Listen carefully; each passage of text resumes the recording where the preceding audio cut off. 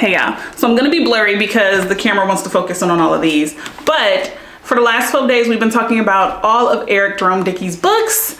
And today we're gonna wrap it up. Keep watching to find out which book we're talking about today.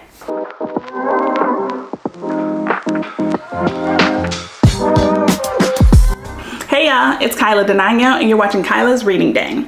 So today we are talking about the last Eric Jerome Dickey book that was released right after he passed away. And I say that because I am crossing my fingers and my toes that he has some other manuscripts that haven't been released, maybe that are still being edited, and we might still get some more works from him. So today we are discussing the last book that was released. It was actually released in April 2021, and it's called The Son of Suleman. The author of the book is Eric Jerome Dickey. The genre of the book is fiction, and the theme of the book is literature or African American literature.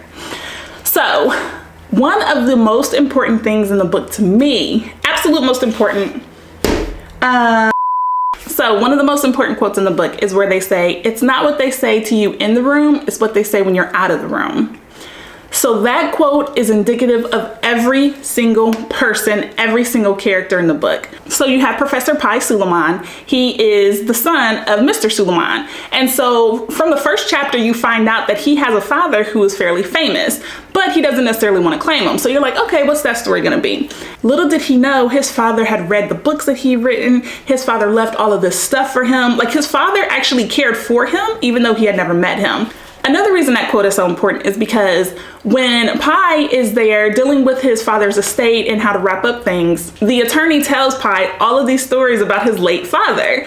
And so again, we're seeing stories of people talking when you're out of the room being really important, right? Pi is hearing these stories and he's like, my dad didn't do that. My dad was a ham. Oh my God, this is hilarious. Pi had no idea because from his perspective, growing up with his mother and his other siblings, Pi was like, I don't rock with this dude. Like this dude is a loser to me. So the third and last reason why that quote is so indicative is because the relationship that Pi has with Gemma Buckingham. You're like, okay, wow, she rocks with him. They're feeling each other. This is great. Gemma says some really, really foul things. People can lie to you in your face. People can smile and chuckle and do all of this when they're not in your face, what they're saying, that's the stuff that matters. And that actually mattered in the relationship between Pi Suleman and Gemma Buckingham as well. So would I reread the book, The Son of Suleman?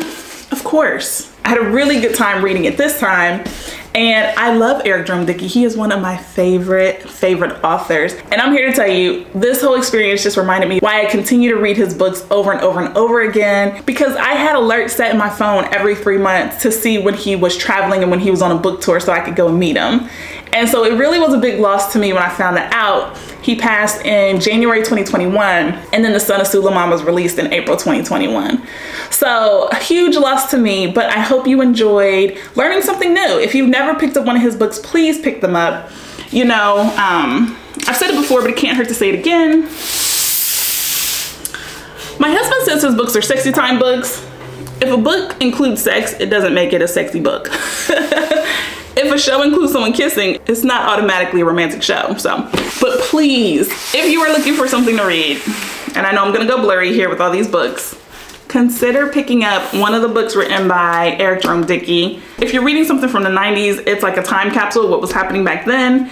If you're reading one of his newer books, you get to see how his writing style has changed. And of course, I reviewed all five books that were in the Gideon series if you want to read about assassins, contract killers, any of that good stuff, pick it up because he truly does cover the gambit and the full spectrum of people, of their emotions, and of Black Americans. So, thank you for hanging out with me for Vlogmas 2022, and Merry Christmas.